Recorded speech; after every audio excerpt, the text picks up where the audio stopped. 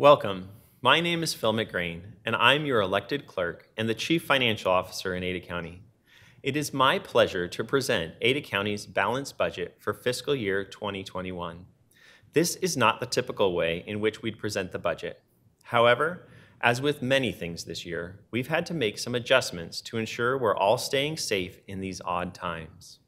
Our hope is that by sharing the budget this way, that we will reach a larger portion of the community than had we conducted this in the traditional format. First, I'd like to say thank you to several people who together have worked very hard throughout this budget process. And it would not have been possible without their collective efforts. First, to the county offices and departments.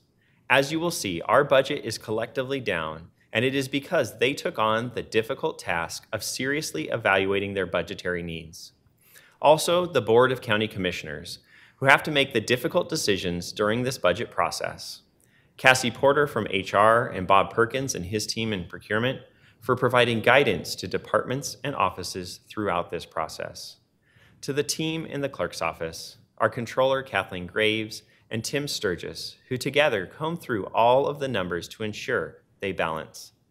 Anthony Locksmith is our data analyst, who is also the wizard behind the budget tool I'll be walking through today. To Lori Beck, who assists with personnel budgets, and Bob Hutchinson, software developer who works to ensure all of our financial systems work smoothly. All of these people have worked closely together to make sure we're submitting a budget that is not only balanced, but serves the needs of our community. Property tax relief has become a very important topic in our community, which is why this year's budget process started off with my request to offices and departments to be particularly conservative with this year's budget requests. The goal was to ensure that our county could still provide all the necessary services to our community without taking the additional 3% increase in base property taxes. In addition, the economic downturn caused by the global pandemic weighed heavily on everyone's mind as budgets were being prepared. Due to the diligent work of the elected officials and department heads, the county commissioners were able to achieve this goal and also able to address some of the major maintenance and facility needs of the county departments. Additionally, services to our citizens will be improved. Some of the highlights of the FY21 budget include funding to staff a second driver's license location, two deputies to patrol East Ada County, improved communications for fire, police, and EMS in rural parts of our county, improvements to our drug court treatment and health court, mental health court, parking and pathway improvements at Barber Park, the return to the issuance of passports, and increased funding for the Master's Facility Plan to address some of our most pressing capital infrastructure needs. I am excited to report that the board was able to accomplish all of this while reducing the total county budget by $3.3 million and not taking the additional 3% in property taxes. Today, I will serve as your guide as we walk through the FY 2021 budget using our Budget Explorer, I briefly mentioned Anthony as the creator of this tool. I also want to highlight it's been nationally recognized. This year, we received the Government Finance Officers Association Award for Excellence in Government Finance for our work in making our budget transparent and accessible, which we're extremely proud of.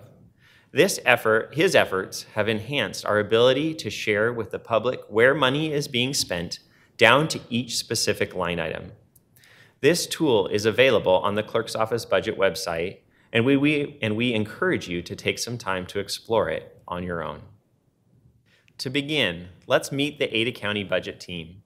Ada County is comprised of nine elected officials, the Board of County Commissioners, Assessor Bob McQuade, Coroner Dotti Owens, Prosecutor Jan Bennetts, Sheriff Steve Bartlett, Treasurer Elizabeth Mahn, along with myself as the clerk. We also have the team from the clerk's office. Statutorily, the clerk is tasked with overseeing the budget process and working with all the department heads and elected officials to ensure that we submit a balanced budget. We then have our business partners, Cassie Porter in HR, Bob Perkins in procurement, and Judy Morris, who is the Commissioner's Office Manager and navigates all of these hearings. And finally, IT, who supports our financial system and helps make it possible for us to share these hearings, deliberations, and presentations online with the public. We have 18 additional departments in Ada County. Each of the department heads, as well as their contact information, is included here.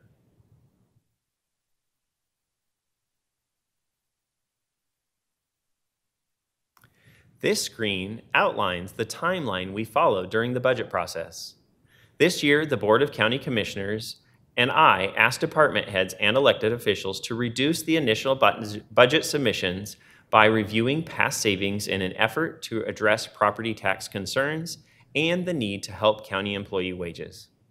Departments were then allowed to adjust spending within their budgets as they needed as long as they stayed below the allotted funding amount. Any additional funding that would be needed was submitted as a supplemental request and had to be approved by the Board of County Commissioners. With that guidance, department heads and elected officials spent the spring establishing budgets that reflected their priorities for the upcoming fiscal year. All personnel, bu personnel budget requests were reviewed by the county's human resources team. They then submitted those proposed budgets to the clerk's office in May so that the auditor's division could compile and prepare the budget for budget presentations and deliberations. During the week of budget presentations, all offices and departments were asked to address what they had accomplished with the funding they were given last year and to make the case for funding in fiscal year 21. All of our budget presentations are listed here. If you hover over each date, you can see the presentations that occurred on each respective date and click on it to watch the presentations on YouTube. Next, you'll see budget deliberations. This is the time for the Board of County Commissioners to weigh the needs of the citizens of Ada County and county departments with the amount of resources available to fund those needs. Just like with the presentations, you can click on this link to watch the deliberations on YouTube.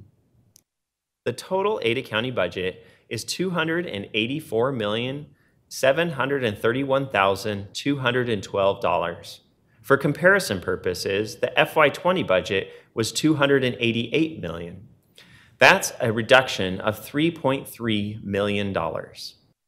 As you can see below, 44% of that money goes towards public safety, 25% goes towards general government, 17% towards judicial services, 6.7% towards sanitation, 3.6 towards recreation related services such as Expo Idaho, and 2.6 goes towards health and welfare.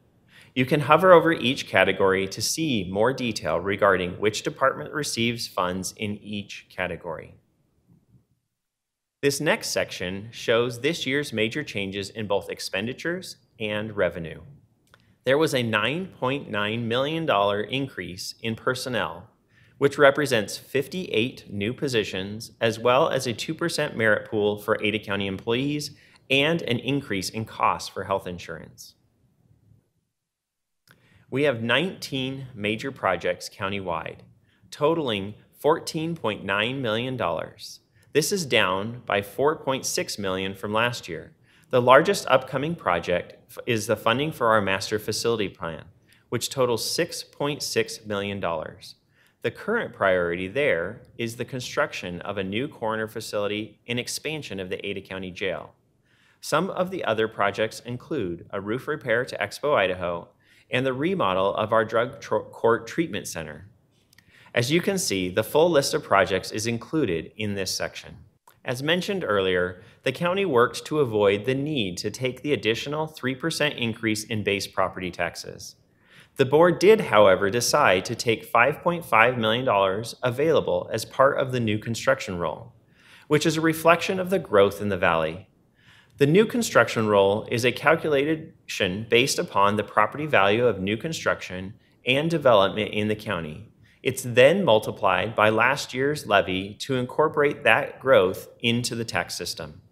This helps provide the funding for the additional services needed to support new residents in our community. In addition to not taking the 3%, Ada County also did not rely on any foregone taxes not taken in previous years. Ada County's current balance of foregone taxes is just over $8.6 million. At this time, I'm going to get into even more detail regarding the county's FY21 budget. This tool is a deliberate effort to be transparent with anyone who is interested in exploring our budget. One of the things I want to highlight is the lower right-hand section, which gives an estimate of the property tax impact to our residents.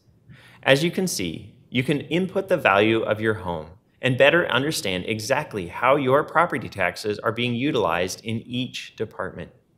It defaults to the median home value in Ada County, which is currently $363,000 according to the Intermountain MLS. The overall expenses are $284.7 million. Total revenue is $271.8 million, with the use of an additional $12.8 million in savings. As I mentioned earlier, this is down from last year's budget of 288 million. This graph provides a history of prior year's budgets. If you click on any given year, the estimated amount of property taxes owed changes with it, so you can see how the taxes have adjusted throughout the years. You'll notice that even though this year's budget decreased from last year's, the estimated amount of taxes owed still increased. This is largely due to the growth in the valley, along with the shift in taxes from commercial properties to residential properties. Looking at the budget distribution, you can see the detail between offices. Boxes are color-coded by the type of services, which is also listed on the left-hand side of the screen. Red, for example, is general government, which includes operations, the assessor's office, the commissioners, HR, and IT, to name a few. Here you can see that 21.4% of general government funding goes to operations. If you hover over any given office, you can see the distribution between personnel and operating costs. In addition, you can see that the estimated property tax has shifted to $187.22, which illustrates how much of that tax bill is allocated specifically to general government. In addition, you will see how these services are funded. Property taxes make up the largest funding source for general government, followed by department revenue, other government agencies, and the use of savings.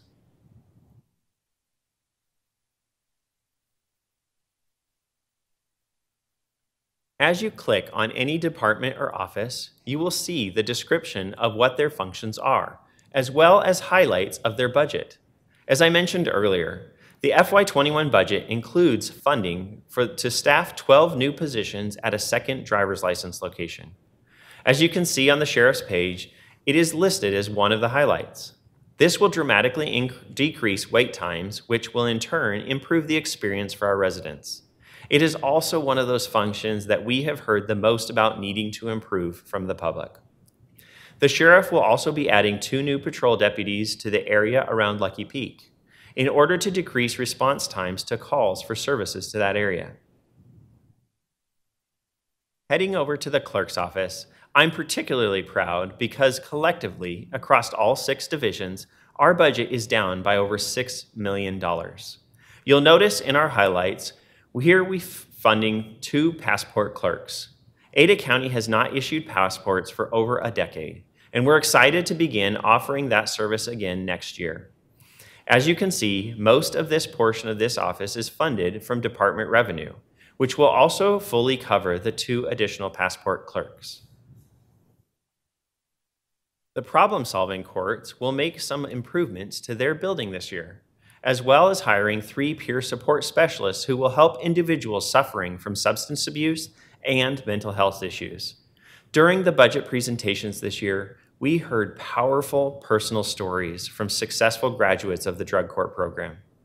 These programs are funded from department revenue and the Supreme Court, along with the use of savings. Operations has a busy year ahead of them, with lots planned for buildings and capital improvement projects. Some of those projects include security, access, and camera upgrades to the courthouse, rooftop, rooftop repair to the aging juvenile detention center, and needed replacements for HVAC equipment at the jail. In order to support these projects and ongoing maintenance of our aging facilities, They will add eight positions to their team.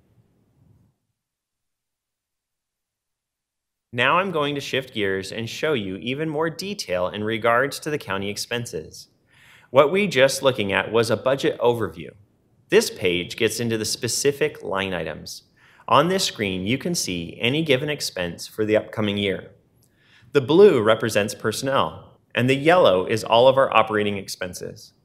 This page also includes the top five line item increases and decreases compared to last year's budget.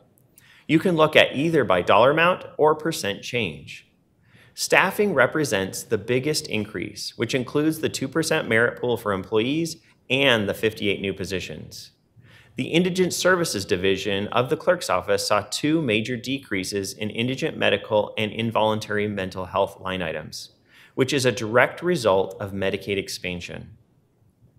This page, like others, can also be used to drill down into any of the specific budgets, for example, here is a look at the expenses within the Commissioner's Office.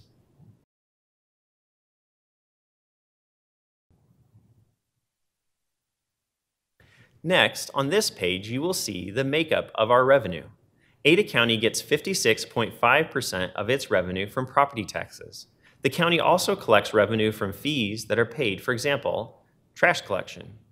The red band represents revenue we get from the state or other governmental entities, for example, sales tax and liquor tax. Given the current state of the economy, we did make adjustments to our anticipated revenue to be conservative in our approach next year. Similar to the expenses page, here you will see the top five increases and decreases to our revenue on the right-hand side. On the top of the screen, you will see our total revenue is up 1.8% from last year for a total of $271.8 million.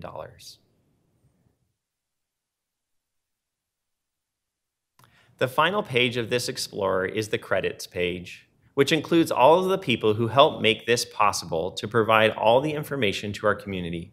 It is also some additional resources, including the Master's Facility Plan, a video library of budget presentations, budget deliberations, and the public hearing that took place during the budget process. All of this information is available to the public on our website. For anyone who would like to explore the budget tool on their own, please visit this web address. In summary, this budget addresses the maintenance of county facilities and technology and improves some of the services like driver's license, emergency communication in rural areas, and the issuance of passports for the first time in many years. The county was able to accomplish all of this while also limiting the increase to property taxpayers. On behalf of the Board of County Commissioners and the other elected officials, we appreciate you taking the time to join us today as we explored Ada County's proposed FY21 budget. Public feedback on the county's budget is important to us. If you would like to make a comment regarding the Ada County budget, please reach out to us by contacting budget at adacounty.id.gov. The commissioners will meet to discuss adopting the fiscal year 2021 tentative budget in an open business meeting on July 28, 2020 at 9 a.m.